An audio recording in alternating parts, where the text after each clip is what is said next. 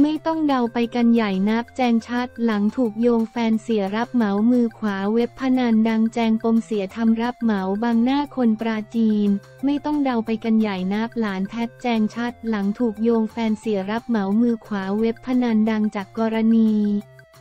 เพจหน่วยป้องกันและปราบปรามการกระทำความผิดเกี่ยวกับคอมพิวเตอร์ ออกมาโพสต์ถึงไฮโซจอ หมื่นล้านคู่รักของดาราอ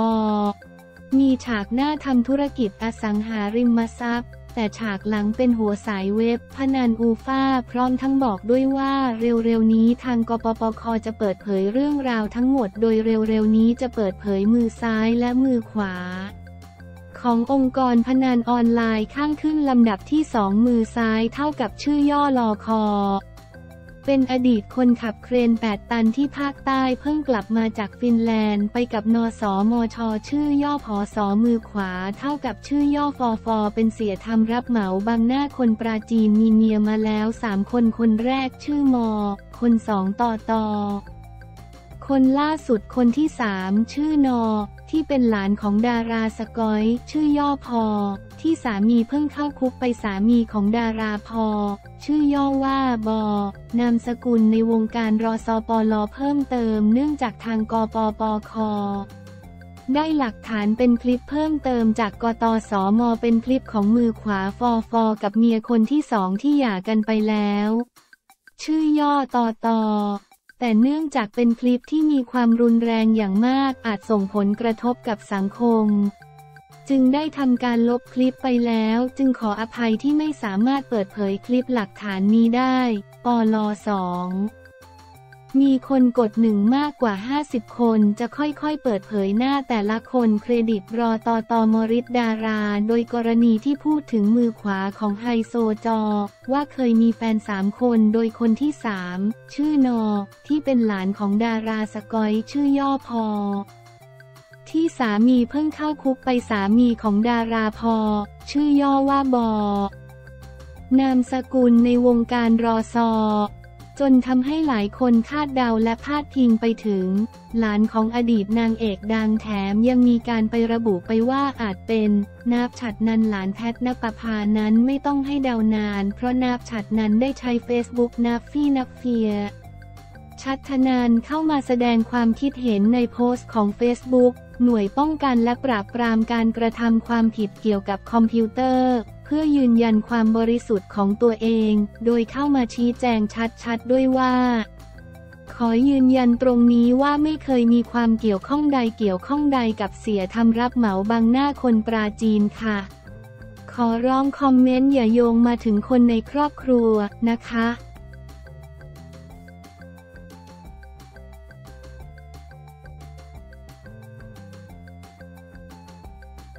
เต้ยพงศกรแต้มบุญสูง จินยอง GOT7จับฉลาก lucky fan เผยเคล็ดลับดวงดีแต้มบุญสูงมากสำหรับพระเอกเลือดอากาเซ่เต้ยพงศกรเมตตาริกานนท์หลังเจ้าตัวมาร่วมชมงาน fan con 2023พัคจินยอง F A N C O N C E R T R E N D E Z V O U S in Bangkok Secret Meeting Between You ของไอดอลนักแสดงหนุ่มเกาหลีจินยองก็อตเจ็ดหรือพักจินยองที่ยูเนียนมอ ซึ่งจัดขึ้นเป็นรอบที่สองเมื่อช่วงหัวค่ำที่ผ่านมา ทั้งนี้หนุ่มเต้ยกลายเป็นหนึ่งในผู้โชคดีสามคนที่จินยองจับรายชื่อจากกล่องที่เปิดให้ผู้ที่มีวันเกิดในเดือนกุมภาพันธ์ ได้เขียนข้อความลงบนแผ่นโพสต์อิทพร้อมระบุเลขที่นั่งและโซนของตนเอง เพื่อขึ้นมารับของขวัญสุดพิเศษ เป็นข้อความที่ไอดอลหนุ่มเขียนด้วยลายมือของตัวเองบนเวที งานนี้ทำเอาอากาเซ่ในฮอลล์เซอร์ไพรส์ไปตามกัน เมื่อจินยองจับสลากขึ้นมา ปรากฏว่าคนแรกไปตรงกับเลขที่นั่งของ fanboy คนหนึ่ง ซึ่งในตอนนั้นส่วนใหญ่ยังไม่มีใครทราบว่าเป็นใครกระทั่งเมื่อผู้โชคดีทั้งสามคนเดินขึ้นเวทีดีเจนุ้ย ที่รับหน้าที่พิธีกรกรีดเสียงหลงเมื่อรู้ว่าแฟนบอยคนดังกล่าว เป็นใครหลังดึงหน้ากากลงให้เห็นในช่วงเวลาสั้นๆ ท่ามกลางเสียงกรีดของอากาเซ่ในฮอนที่ดังสนั่น เพราะเป็นที่รู้กันว่าหนุ่มเต้ยนั้นเป็นอากาเซ่ตัวจริงที่ซื้อบัตรทั้งงานแฟนมีต แฟนซายและคอนเสิร์ตของสมาชิกก็เจ็ดแทบ ทุกคนที่เดินทางมาเปิดการแสดงในประเทศไทย จนกลายเป็นขวัญใจของอากาเซ่ไทยเลยทีเดียว โดยเต้ยได้กล่าวบนเวทีว่า ก่อนมาผมท่องนโมสามจบแล้วก็บูชาพระพิคเนตด้วยไม่คิดว่าจะได้จริง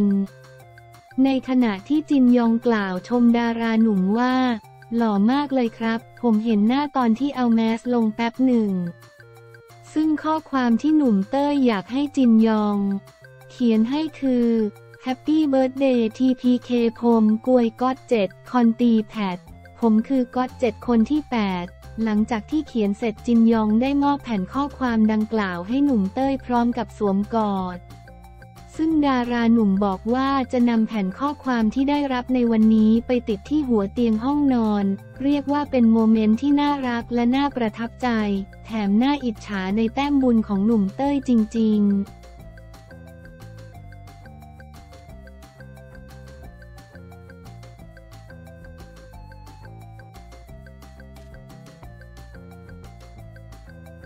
ฮือฮา อุทยานแห่งชาติ เขาศกพบมนุษย์ต่างดาวตัวเป็นๆไม่ใช่แสงแฝงตัวทำงานฮือฮากับความทุ่มเท อุทยานแห่งชาติเขาศกพบมนุษย์ต่างดาวตัวเป็นๆไม่ใช่แสงแฝงตัวทำงานเป็นเจ้าหน้าที่เรียกรอยยิ้มได้เป็นอย่างดีเมื่อไม่นานมานี้มีกระแสไวรัลในโลกออนไลน์กำลังฮือฮาถึงความพิศวงอันน่าลึกลับ เหตุหมอปลาย พรายกระซิบได้โพสต์เรื่องราวประสบการณ์พบมนุษย์ต่างดาวผ่านเพจ Facebook โดยเป็นภาพถ่ายกลางป่าที่ประเทศออสเตรเลียเมื่อ 10 ปีก่อนพร้อมกล่าวว่า เชื่อเถอะว่ามนุษย์ต่างดาวมีจริง ล่าสุด เกิดความฮือฮาขึ้นในโซเชียลอีกครั้ง เนื่องจากประเทศไทยมีการพบมนุษย์ต่างดาวของจริง ตัวเป็นเป็นกลางธรรมชาติ แถมยังมีการแอบถ่ายภาพมนุษย์ต่างดาวสาวดัดฟันทาเล็บเจลสุดอินเทรนด์แฝงตัวเป็นเจ้าหน้าที่อุทยานแห่งชาติเขาศกอีกด้วย โดยเรื่องราวดังกล่าว เกิดขึ้นจากเพจ Facebook อุทยานแห่งชาติเขาศก Khao Sok National Park ระบุว่า คาดไม่ถึง อุทยานแห่งชาติเขาศกเผยภาพมนุษย์ต่างดาวสาวแฝงตัวเป็นเจ้าหน้าที่ แนะนำศูนย์บริการนักท่องเที่ยว พร้อมเผยความในใจอยากให้มาท่องเที่ยวอุทยานแห่งชาติเขาศกกันเยอะๆ แถมยังมีการตอบโต้ในคอมเมนต์สุดฮา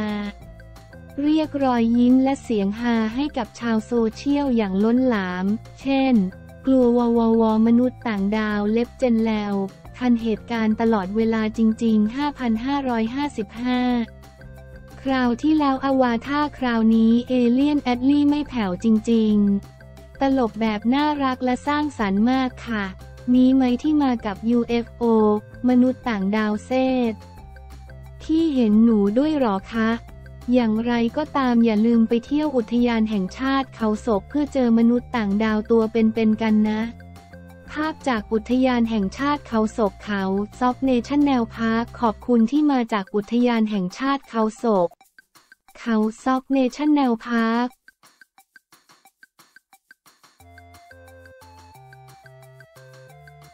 うん。